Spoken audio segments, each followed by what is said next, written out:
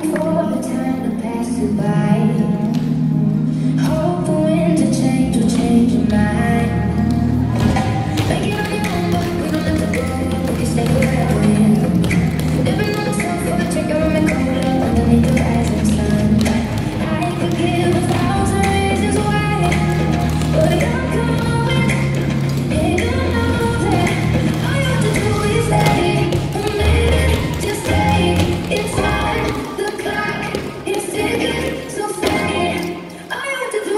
Thank you.